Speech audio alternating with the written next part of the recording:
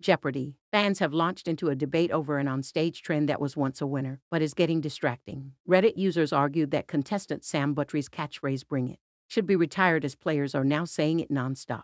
The Jeopardy! catchphrase was invented by fan favorite contestant Sam, 63. The professor turned sensation most recently played in May's Jeopardy! Masters tournament, and his signature saying became all the rage. The Steve Martin lookalike would announce Bring It to bring some enthusiasm when selecting the last clue on the Jeopardy! board. Bring It has become so popular that contestants have continued using it as a nod to him ever since, and now it's game show lore. However, players are starting to bring it near nightly, causing fans to aggro the in joke needs a rest. Stop trying to make Bring It happen. A disgruntled fan titled their admittedly niche Reddit thread, Okay, here it is, you've been warned.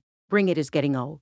Thanks for attending my TED Talk today. Please proceed with your downvotes. However, instead of downvoting the post, a lot of hardcore watchers agreed that the amount of Bring It's are bringing down the viewer experience. Someone replied, Yeah, I liked it a lot more when it was just Sam's thing. I think you have to earn the right to say it, and too many players are being presumptive. Another wrote, I know it's ridiculous to gatekeep the usage of Bring It, but haha. It does seem better in a fast paced, high stakes, competitive game. It's a dare, challenge, so maybe it sounds off when the round has just been normal. Others liken the term to pro gambler James Holzhauer's going all in on a daily double with his all the chips motion. It's his thing. It's like James' all in gesture was cute in the goat, but I could see it getting tiring if done every time. Another reply read, Yeah, it was a cute and funny thing when Sam did it. Everyone else needs to move on now. I am a fourth wrote, I enjoyed it when Sam did it. Then it became okay later with the people who had played beside Sam, said it in kind of a homage to Sam. Then it was being said more often and I began to dislike it. A fifth wrote, I was only cool with Sam doing it. With everyone doing it, it's overdone. The same goes for pushing in the chips. A sixth wrote, I feel like you have to earn being a good player to have your own thing, and even then do something original, not a stolen bit. Others argued they find it funny when a contestant who is not in the lead nervously asks to bring it.